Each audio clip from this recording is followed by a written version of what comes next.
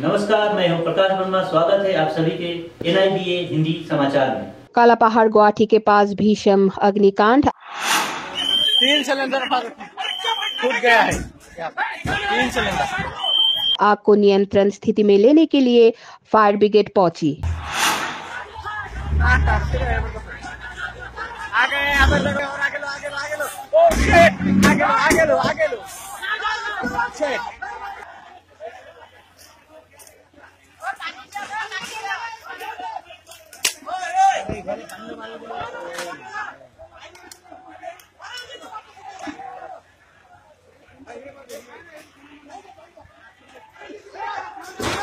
इसी के साथ मैं प्रकाश वर्मा आप सभी से विदा लेता हूँ। कल फिर मुलाकात होगी कुछ नई खबरों के साथ। तब तक के लिए नमस्कार।